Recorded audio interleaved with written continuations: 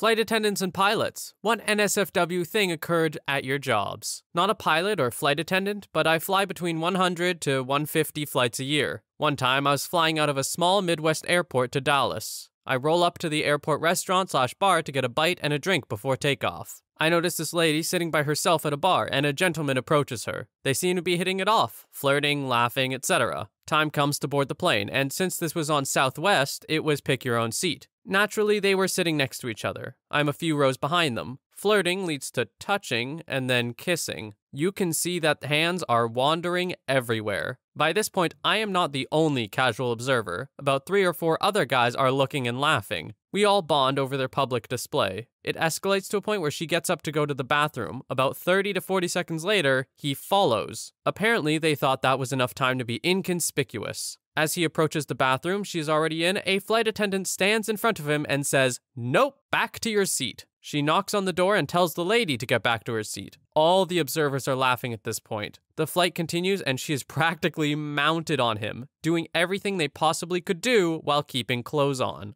This continues until we land and all deplane. She quickly hurries off the plane. He is a few steps behind her, but she seems to be in a hurry. The other observers and I are talking about it and laughing as we exit the secure area into the baggage claim area. Then we see her, still several steps ahead of the guy, and she runs into the arms of her boyfriend and starts kissing him. Her in flight guy just stops dead in his tracks, takes a couple seconds to observe, and then just leaves. I haven't laughed so hard in public with people I haven't met prior to or since. Story 2. As a flight engineer in the AF flying out of an island in the Pacific, a sailor had fallen overboard and drowned. The Navy recovered his body a few days later. Since this is downrange, only a body bag is available, not a transport casket. Before takeoff, the loadmaster comes to the cockpit screaming, yelling, and babbling. He says the body in the bag is wiggling. Turns out eels have entered his body via his mouth and are wiggling within his body and causing movement. Story 3. Just a plain passenger, but this happened on my last flight. About halfway through, the pilot comes over the intercom and says, Please come out of the bathroom. Smoking in an airplane is illegal. Naturally, this gets the whole plane on edge. Turns out it was an old woman who was completely naked and vaping in the bathroom while refusing to come out. They eventually had to break in and take her out, which then caused the woman to try and fight the flight attendants. She was arrested as soon as we landed. Story 4. Obligatory not me, but a friend of mine disclaimer. I have a female friend who flies transatlantic as a flight attendant. She told me a story about how one passenger she had had been in the bathroom for at least 15 minutes. Being a busy flight, people were pissed off and complained to her that he had been in there for a long time. She went to the door, knocked a couple times with no response. Obviously, being concerned for the passenger's safety, the doors were opened. Inside was a guy on a toilet, trousers around ankles, headphones in his phone while adult videos played, and flaccid dong in hand. Bro fell asleep while jerking it in an airplane toilet. Oh, embarrassment ensued. Story 5. My wife and I bought last minute tickets to a family event and could not get seats next to each other. Once we boarded, I convinced the guy sitting next to my wife to switch seats with me. Nice guy takes my assigned seat, which was next to a woman who was apparently suffering from the flu. Five minutes after takeoff, she projectile vomits, but tried to use a pillow to cover her mouth. The pillow just made it spray out sideways all over the poor guy. He just sits there for a moment, frozen, and then slowly turns back to look at me with this face that said, You did this to me, and I will forever hate you for it. I offered to buy him a drink, but he ignored me. It was a six hour flight. Story 6. A couple of our boys were on the return leg of an offshore crew change. 15 minutes out from the deck, they catch movement in the back. One of the passengers has unbuckled his harness and is getting up out of his seat. Big no on a helicopter. But before they can do or say anything, the guy grabs an airsick bag, drops his daks, positions the bag under his bum, and lets it rip. The bag lasted maybe three seconds. Explosive does not do this bout of diarrhea justice. Volcanic might not. If I hadn't seen the photos, I might not have believed it. It coated the floor, his seats, the seats beside it, and the poor guys in them. Splashed the windows and ceiling and rows of the seats behind. It was everywhere. And the smell. The real kicker is that even though they're 15 minutes from the rig, they couldn't go back. If they did, the chopper would be stuck on the deck until it could be decontaminated by a cleaning crew. There's only one deck, so we'd have to send a second helicopter out to winch down said cleaning crew, a dangerous and expensive operation. Meanwhile, everyone to come off swing in the next few days would be stuck on the rig until we did, while there wouldn't be enough beds in the town for the incoming crews. And the nature of the rig is such that it can't fully operate while there is a chopper on deck. Literally millions of dollars in lost production. One dude with a rumbly tummy he didn't tell the rig medic about because he was just that keen to get home, and several hundred people are potentially right up shit creek. So they take one for the team and push on. Tell the culprit to sit back down and put his harness back on and pray for a tailwind. Two hours flying back to base. It's Australia, tropical in summer, and commercial helicopters don't have great aircon. The smell gets worse and worse, and it's not helped when some of the guys have to use the sick bags for their intended purpose. By the end of the flight, the pilots are all flying with their heads out of the cockpit windows just to breathe, and have given serious consideration to landing as soon as they were over the mainland, or any land. When they finally got in, it was approaching dangerous levels of stank. Never had a disembark that fast, and you'd better believe the pilots did shutdown in record. There was a queue for hoses. When the engineer started to do damage assessment, it was even worse. That crap was runny and grainy. It found its way into every crack and crevice and bolt hole. The seats nearest to the guy were literally soaked in crap and puke, and it was in the life vests and cabin raft. There was even splash in the cockpit, everywhere. We had to fly in a specialist cleaning crew, the kind that normally does crime scenes, and fully strip and dismantle the cabin down to bare fuselage. In the end, the guy's seat and the seat of the guy to his right were so saturated, so caked, and so stained and soaked with his crap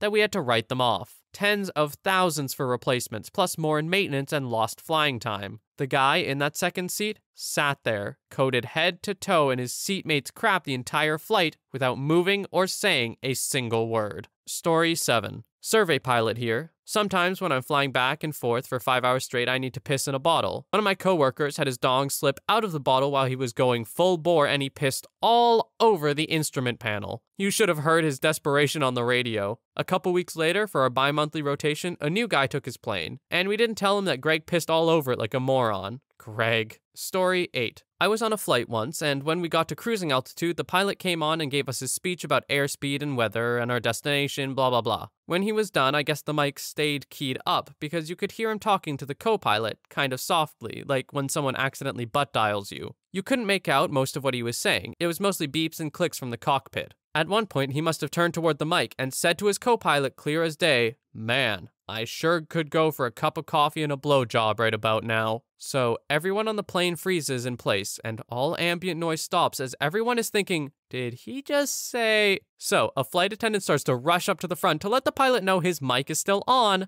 and she gets about halfway up to the front when someone yells, Don't forget the coffee. Story 9. Not me, but a friend who's a flight attendant came across this really stubborn male passenger who wanted a sanitary pad that he saw the flight attendant hand over to a female passenger, convinced it was an eye mask thing you put on before sleeping. Arguing with her about it, she finally gave in and just gave a sanitary pad to him, who coolly removed the anti adhesive and stuck it on his eyes and went to sleep. Story 10. This happened to another pilot at our company. We fly small planes with no doors between the cockpit and cabin. We usually put our jackets behind our seats. A passenger sitting in the front seat could easily grab them without us noticing. At the end of one flight, he noticed that the passenger on the left front seat was sitting on his jacket. Very odd, but whatever. The passengers deplaned and he went to pick up his jacket. That's when it hit him. The passenger had crapped on the seat. He grabbed the pilot's jacket and put it over it and sat back down on it. It was only a 20 minute flight. How badly do you have to go? Story 11. I'm a pilot and spent a lot of time scouring NTSB reports for various reasons. One time I ran across an interesting one. The NTSB's probable cause was the pilot in command's improper in flight decision to divert her attention to other activities not related to the conduct of the flight. Contributing to the accident was the exceeding of the design limits of the airplane, leading to a wing failure. The rest of the report indicated that the occupants were partially closed and the front right seat was in the full AFT reclining position. Unfortunately, they did not survive the crash, but I always found the NTSB's wording of the report more entertaining than I probably should given the circumstances. They word things very professionally, and I'm sure someone had to come up with a way of saying they were banging and crashed without actually saying it. Story 12. I am a test pilot for a small startup. Landed a few weeks ago at a small airport in the middle of nowhere to empty my piss bottle slash fill up my water bottle. My right seat wanted to check out the heli that was there, Long Ranger. I went to use the bathroom and he comes running to me. Turns out the two medics from the local medevac service were in the heli making bam bam. We got to watch them both run naked from heli to their training station.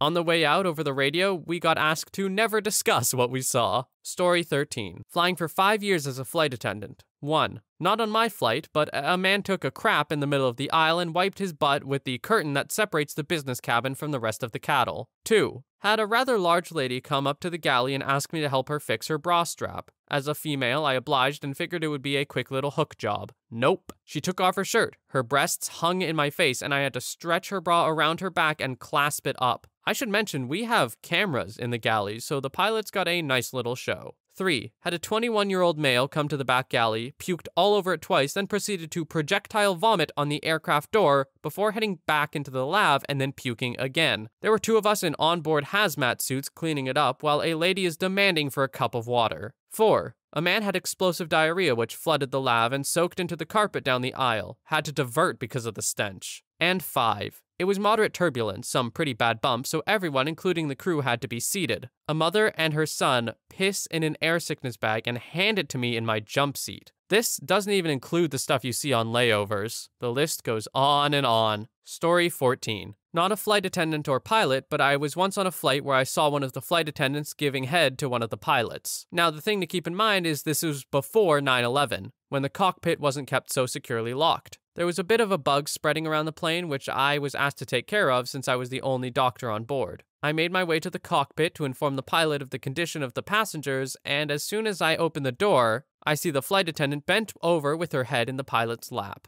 I could not believe what I was seeing, but I managed to snag a quick photo of it. Story 15. Not totally on topic, but I fly a lot for work, and one time I walked to the bathroom as a flight attendant was walking out. She saw me heading in right after her and said, Be careful, there's a bomb in the bathroom. I think it was a nervous reference to her just having blown up the toilet, and she quickly realized what she said. As I gave her this perplexed look walking into the bathroom, she pulled me aside as I walked out and apologized profusely, probably knowing she had lost her job if someone less understanding had heard it. Story 16. Best friend is a flight attendant. She's seen some things, man, and some stuff. One woman pissed herself. One woman fainted and then pissed herself. Her colleague got caught by a passenger miming a BJ, but not from an angle where you could tell it was a mime. And she'd like you all to know that they see you, yeah, you, with the blanket. They see. Story 17. On a flight to Cancun, everyone was drinking, getting their vacation on early. Somehow, a passenger let loose the most silent, yet most deadly fart ever. It was the kind of smell that caused complete strangers to become friends in a shared moment of horrid existence. Lots of gagging. The stench awoke my sleeping GF.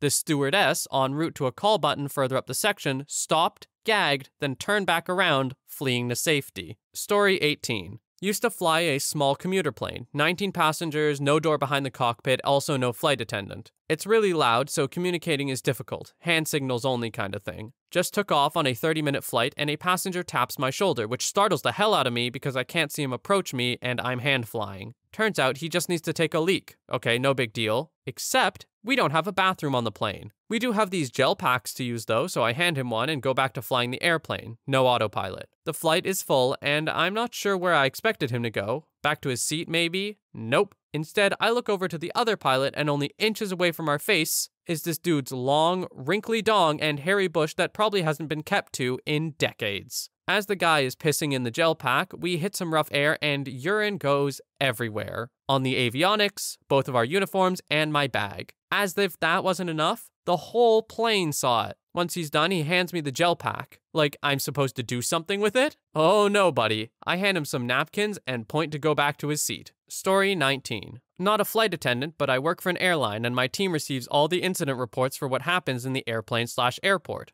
Some of the incident reports that came in were so shocking. Every summer, we'd have multiple incidents of people banging on board, in their seats or in the bathroom. That's pretty standard. But here are some of the more notable ones that came to our team. 1. A woman breastfeeding a kitten refusing to stop. Yes, you heard that right. No, I'm not kidding. 2. A woman who exposed her breasts completely and ran up and down the aisles. 3. Drunk man attempting to molest the woman beside him by pretending he was asleep and touching her slash falling into her lap. Really, dude? A woman on a red eye flight was asked to stop touching herself. No blanket or anything, just her and her whispering eye out for all to see. The flight attendant said in her report that she didn't make eye contact but told the woman, Everyone can see what you're doing and we need you to stop. The woman was so embarrassed, uh, gave a panicked sorry, and stopped. And 5. This happened at the airport, but it's my favorite. A male was using the airport washroom, then a fully naked man comes crashing down out of the ceiling right on top of the man using the washroom. The naked man scrambled and climbed right back into the ceiling without saying a word. The man using the washroom was in complete shock and told one of our managers that we have a problem in the washroom. I howled at that.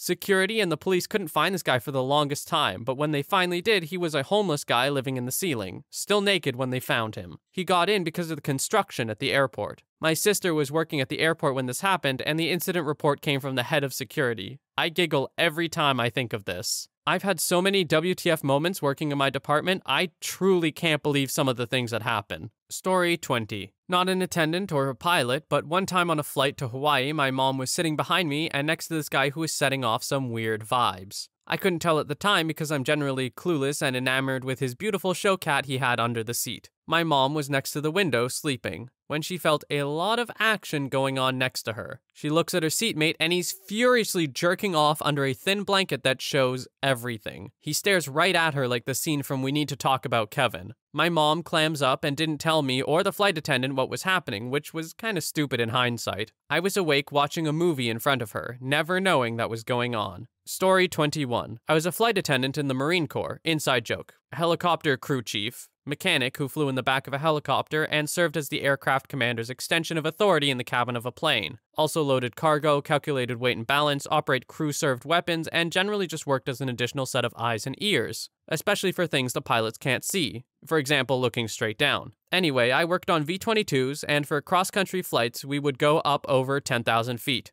We had a bunch of auxiliary fuel tanks in the cabin, so you could squeeze by then if you needed, but you can't really see back there. The guy in the back said to me on ICS, internal comm system, Hey, I'm going off ICS. If you don't hear from me in two minutes, come back and put my oxygen mask on. He came on ICS a short time later, and I asked on a private channel what was going on so the pilots wouldn't hear. And he took off his oxygen mask at 25,000 feet so he could jerk it while hypoxic. It's along the lines of autoerotic asphyxiation. Story 22. I was on a flight to China. One of the passengers up in business class decided to take advantage of the unlimited drinks he was offered before takeoff. He got plastered. When the plane started to take off, he decided to take a sleeping pill to tide him over for the 14 hour flight we were about to endure. Well, shortly after takeoff, the guy decided he needed to use the bathroom. He ventures back to where the stalls are but shoots past them. He walks about three rows ahead of my row, whips out his dong, and pisses all over the row and the people in it. They had to move the passengers, rip out the seats, and monitor the guy for the rest of the flight. Whatever happened to him, I have no idea. I'm just glad he didn't hold it in for three more rows. Story 23. I used to work as a baggage guy, loading and unloading planes. On our planes, we had to put the passengers' pets in a small area in the front belly compartment. We had an inbound flight that had quite a few pets on board. When I opened the compartment door, I was hit with the most gut wrenching dog crap smell. Once I was able to see through my watery eyes, I saw one large dog kennel pressed up against a small kennel. The idiots that loaded the plane put both the kennel's front gates ends together. The larger dog must have pressed its butt up against and crapped through the gate because the little dog was covered in it, and it was in the corner quivering and whimpering. Trying to explain and apologize to the little dog's owner was one of the hardest and yet funniest things I've ever had to do. Story 24. Flight attendant here. Pilots are hooking up with flight attendants constantly. I've walked in on two different guys in the bathroom. Lock it, people. A couple weeks ago, I had a lady use the lav and didn't even shut the door. I see camel humps daily, the male equivalent of a camel toe. I've stopped people trying to get in the Mile High Club. Uh, there's also plenty of rumors of pilots and flight attendants hooking up mid flight, but I myself have never experienced this. When one pilot has to go to the bathroom, a flight attendant will go up in the flight deck. Oh, and last year I had a guy who was drunk slash on drugs and molested a female passenger. Guy got arrested, obviously, and I had to give a statement. Story 25. I'm not a pilot or a flight attendant, but I do work the ramp. There's a few things I'd like to share. Ladies, please wear underwear, please. Guys, too. Working smaller regional jets, I've seen a lot of, um, naughty bits because some people prefer to go commando. When you walk down the jet bridge and leave your carry on for valet, if you wear a skirt and no underwear, the people on the ground 12 feet below you have a chance to catch a glimpse at your bits. It's not often, but 10 years of doing this, I've seen quite a few people's junk, both male and female, because of the short slash skirts and commando. We're not offended, but we will make lame jokes about you for the next 10 minutes. Put a goddamn name tag on and in your bag. Tags fall off. If we have no quick way to ID who you are in your bag, we do search and catalog your belongings. Like the dirty, crusty panties I had to dig through wearing gloves to find the syphilis meds to help return a lady's bag. Or the bag with the laptop with a huge Iowa Hawkeye sticker on it to which the password was GoHawks1. That took four tries to guess. Their browser history was eclectic. Found that Joker on Facebook after closing the various adult video tabs. Khaki pants and some J. Crew shirts are not enough to ID a person. Or the singles cruise guy whose bag had no ID and we ended up sending it to HQ to sit in a warehouse. That guy had like 10 to 12 Polaroids of his dong just laying around in his bag. Not in a stack, layered throughout his clothes. His photo from the singles cruise was all we had to go on. No name, just dong pics, like a calling card or something. Hand it to ladies on a single cruise, find a mate? I don't know. I still wonder about him. 20 plus condoms left over in his bag. Did he buy the big box and slam, or did he get the medium box and do okay? I tell you one thing, that dude had high hopes and swung for the fences. I've reconnected people to their bags through boner pills, names on magazine subs, to dubious publications, and all manner of diseases relating to naughty bits because of medication. I've seen your adult video stash, your dildos, vibrators, and your crotchless panties, and your lube. I found actual photographs, like proper prints of stuff I won't even describe, but it was old people doing stuff. We never say how we found you, nor do we mention your contents at all. The looks on people's faces when they come to collect, or the shift in tone of their voice once they put two and two together, is priceless. Just use a name tag. Like, it happens. You don't want syphilis, I'm sure. I don't want to touch your crusty ass underwears.